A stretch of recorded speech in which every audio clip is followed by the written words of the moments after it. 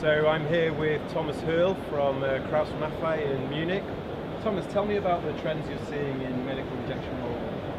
Um, thank you for the question. Uh, we in KraussMaffei we see a few trends in the medical field.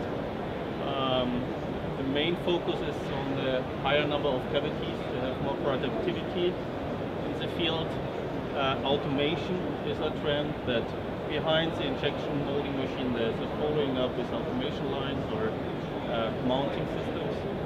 Uh, another trend is two component parts or multi-shotting, Multi-shot molding. molding, thank you for that, and uh, to increase functions into your plastic parts. Right, okay, okay. And what kind of, um, how is KraussMaffei uh, supplying products to, to supply these trends? How is it helping its customers? We uh, have a wide range of different uh, machine uh, philosophies. We have full electric machines, we have hydraulic machines, hybrid machines, which combine the benefits of the hydraulic and the, the uh, electric machines.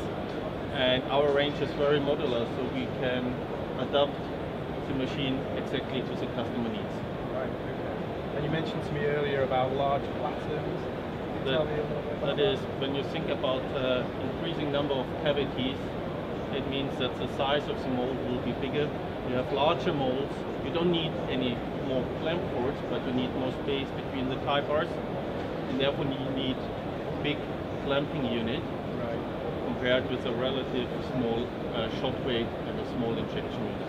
And presumably that increases the efficiency for your customer. Exactly. that. And how else is this Kraus Maffei helping to improve efficiency for its customers? Efficiency can be solved by a full electric uh, machine.